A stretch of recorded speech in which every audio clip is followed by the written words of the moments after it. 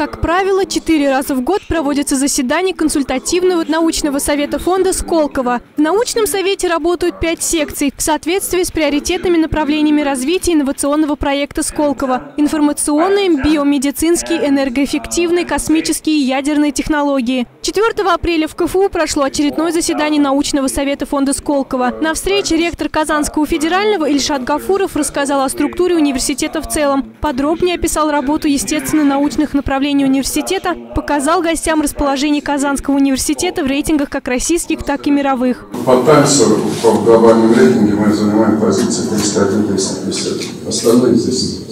Хорошо или это плохо, мы посчитали, сколько примерно университетов в мире, мы входим в топ-1% всех университетов мира. Научный совет фонда Сколково – это 27 ученых мирового уровня, трое из которых – нобелевские лауреаты. Гости с большим интересом посетили музей КФУ. Видно, что Казанский университет за последние несколько лет кардинально вообще изменился, и я думаю, просто его развитие очень большое.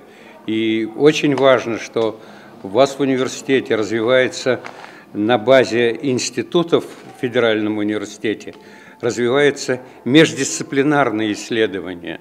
И мне особенно понравилось, как вы развиваете биологические и медицинские исследования, э, сопрягая их вместе с исследованиями на физическом и химическом ну, я говорю по старому факультетах, институтах. Приоритетные направления развития инновационного проекта Сколково очень интересны для ученых КФУ, в частности биомедицина. Не секрет, что биомедицина и фармацевтика стоят на первом месте приоритетных направлений развития КФУ. Адиля Валеева, Руслан Уразаев, Univer News.